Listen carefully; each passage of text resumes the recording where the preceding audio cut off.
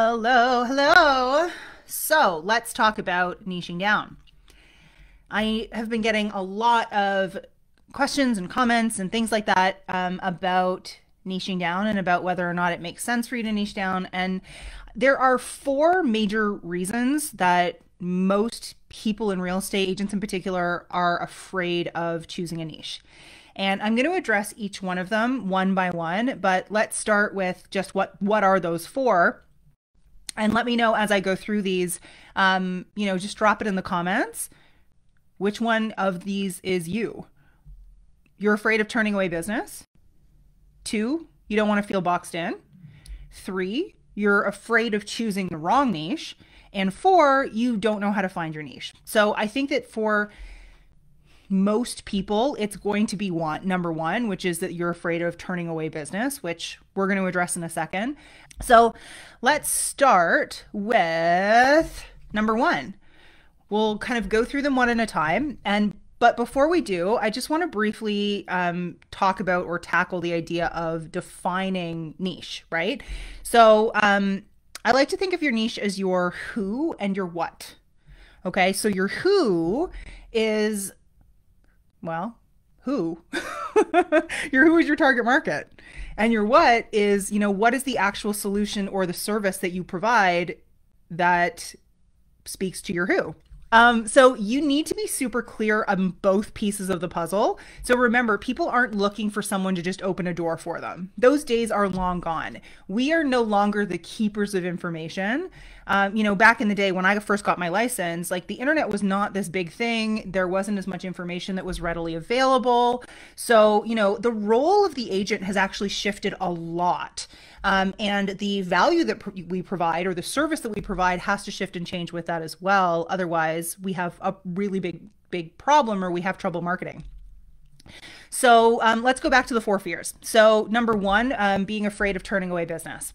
So, it might seem like you're limiting yourself when you focus on a niche, but it's actually the opposite that's true, right? And here's why. when you target a specific group of people with a specific with a specific solution, that they want or they need. Um, and for most people that they're actually actively looking for, it actually makes the marketing side of things so much easier. And I, you, I mean, you've heard me talk about this a million times before that, you know, as an agent, you have two jobs. You are a realtor, but you're also a marketer. And you don't get to be a really great realtor if you're not actually a pretty good marketer, especially nowadays, because that when what ends up happening is, you know, you can be a really fantastic, you could be the best realtor in the world, but at the end of the day, if you don't have enough clients to serve, then you know it it it becomes like it becomes kind of a, a moot point. So, um, when you actually niche down and you target a specific group of people, then you can speak directly to them. You can use their own language. You can create emotional connection. You can touch their hearts. You can touch their minds. And again, you've heard me say this a million times people make decisions with emotions first, and then they back those decisions up with logic. So all of your services can actually be then tailored to them. It's way easier to become like the best of the best. It's way easier to become an expert in that area, solving those specific problems, which actually allows you to charge more. It allows you to create income in, in sorry, inbound clients. And inbound clients don't haggle on commission right and so again it, it just it completely shifts the power dynamic and it completely shifts the way that you actually run your business so you do your best work because you're doing the work that you actually love. Working with the people that you actually love, with the creating solutions for those people. When you do that, you get more referral business. Um, and then people will know who you help and what you help them with. You become known for something as opposed to just being, um, as opposed to just being just another agent out there. And there's so much real estate noise out there that it's actually really hard to cut through it. And the only way to actually really cut through it is to niche down. Now, being afraid of being boxed in is always going to be like the next one. And so that's number two, being afraid of being boxed in. And focusing on a niche doesn't mean that you can't help people that don't fall within that niche. I'm not asking you to get rid of half of your business. What I'm saying is that when we niche down and we master it or we dominate one niche, you are actually getting more business in that niche because your marketing is so good. And then all the other stuff that you already get is still going to happen. You have a clearer focus. You can target your marketing and your service package, and your business actually becomes more scalable.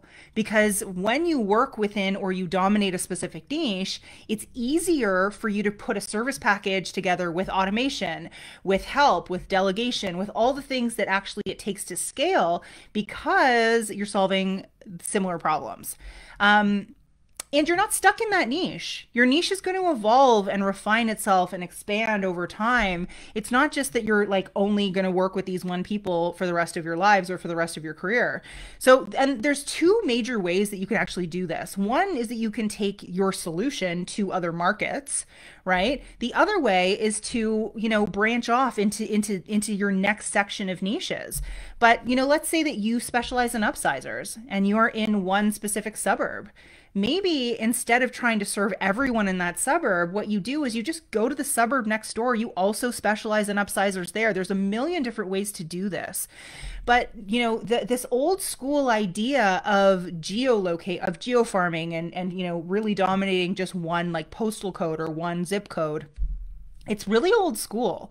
And the only reason why we used to do that way back when is because it was the only way to be consistent and frequent. It was the only way to actually be in front of people on a regular basis because we didn't have the internet. Right. And so we either had to do things manually, which was cold call and door knock them, well, or we had to physically like put something in front of them, which was flyer. And we all know that like those things are actually not scalable. So again, when we have this tool, the internet, which we're communicating through right now, now we have the ability to actually niche down in a different way and a more effective way.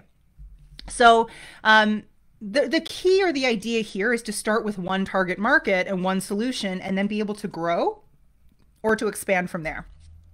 So, the third thing that people are afraid of is choosing the wrong niche, right? And and in my opinion, you know, do people choose the wrong niche? Sure. Some people, like it, earlier on in their careers, they may decide to want to work with, I don't know, first time buyers but we all know that, like 10 years down the road, you do not want a business full of first time buyers.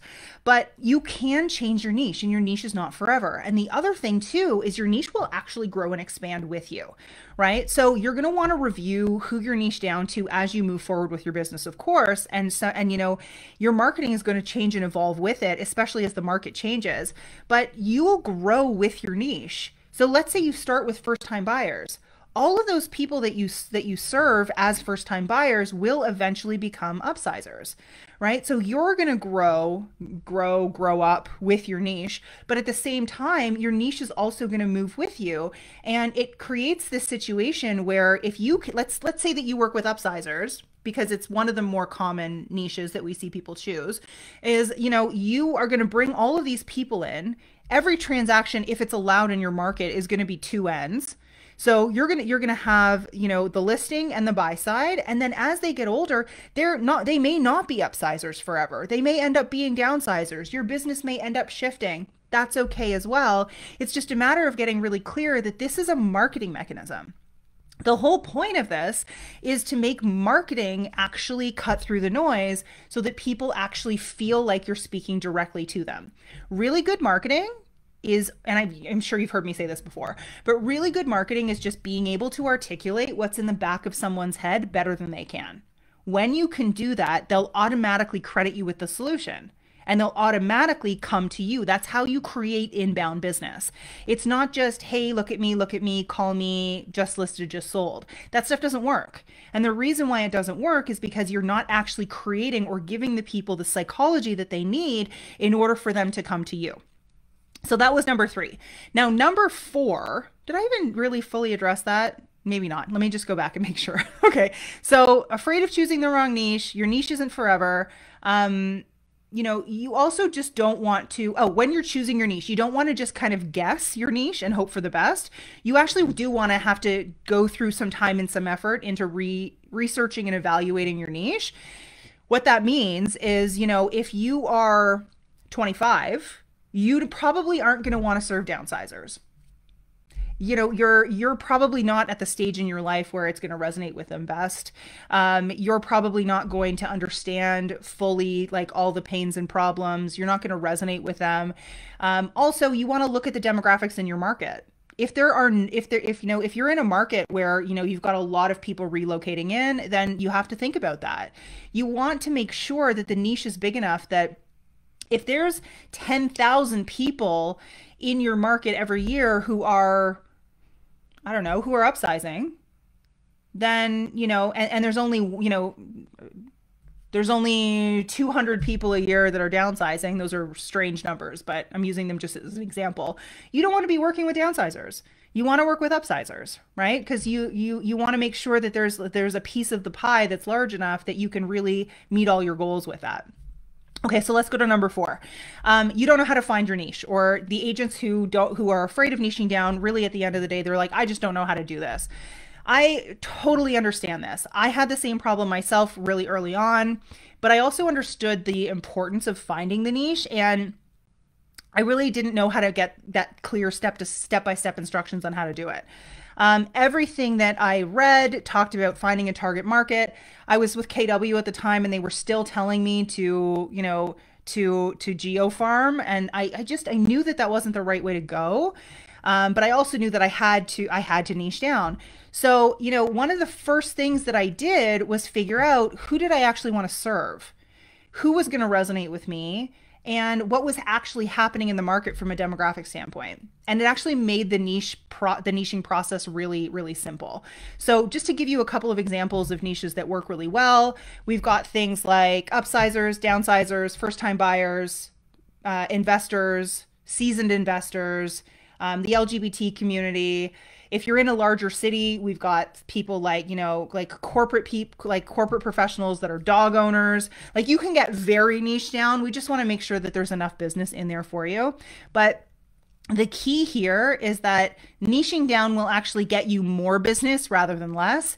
It will refine your um, it'll it'll refine your messaging and your ability to actually create connection with the people that you want to talk to so um, i just wanted to kind of address it because i think that there's so much fear around niching down and choosing a niche when like there actually should be empowerment around it because being able to do it is actually going to create more and more growth. But uh, yeah hope you guys are having a fantastic day and niche down. Do it